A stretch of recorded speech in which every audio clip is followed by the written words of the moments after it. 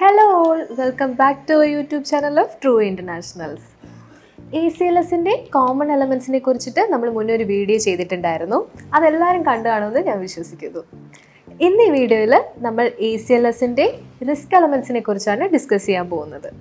Advance cardiac life സപ്പോർട്ടിന്റെ അപകട സാധ്യതകളും risk ഫാക്ടേഴ്സും എന്തൊക്കെയാണ്? C P R may leads to broken ribs defibrillation skin burns ഉണ്ടാക്കാം. I whis central venous കത്തീറ്ററുകൾ arterial lines can cause blood clots infections etcetera medicines allergic reactions or side effects ഉണ്ടാക്കുന്നു. ഈ risk factors എങ്ങനെ control ചെയ്യാം? Activities diet lifestyles control ചെയ്ത് പോവുക. എന്തെങ്കിലും confusions ഉണ്ടെങ്കിൽ immediately തന്നെ ഡോക്ടറെ അറിയിക്കുക. മെഡിസിൻസ് പ്രോപ്പറായി കഴിക്കുക. നിങ്ങളുടെ അലർജീസ് അല്ലെങ്കിൽ മെഡിക്കൽ കണ്ടീഷൻസ് ലിസ്റ്റ് ചെയ്യുന്ന ഒരു medical I D bracelet wear ചെയ്യുക. എ സി എൽ എസ് നിങ്ങളുടെ ദൈനംദിന ജീവിതത്തെ എങ്ങനെ ബാധിച്ചേക്കാം? എ സി എൽ എസിന് നിങ്ങളുടെ ജീവൻ രക്ഷിക്കാൻ കഴിയും. എന്നാൽ underlying diseases or situations normally ഇത് ക്യൂർ ചെയ്യുന്നില്ല.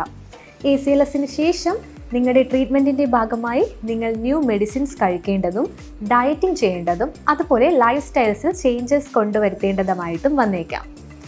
എപ്പോഴും നിങ്ങളുടെ ആരോഗ്യത്തെക്കുറിച്ച് നിങ്ങൾ അലേർട്ടായിരിക്കണം എപ്പോഴും ഒരു ട്രെയിൻഡ് മെഡിക്കൽ പ്രാക്ടീഷണറിന്റെ അഡ്വൈസ് എടുത്തിട്ട് മാത്രമേ മെഡിസിൻസ് ആണെങ്കിലും മറ്റ് ഡ്രഗ്സ് ആണെങ്കിലും യൂസ് ചെയ്യാവൂ. Your health is your wealth that's all with today's topic നിങ്ങൾക്ക് ഈ വീഡിയോ ഇഷ്ടപ്പെടുകയും ഇത് വളരെ ഇൻഫോർമേറ്റീവ് ആണെന്ന് തോന്നുകയും ചെയ്യുകയാണെങ്കിൽ please like share and comment will come back with another video until then it's me Ashwini signing off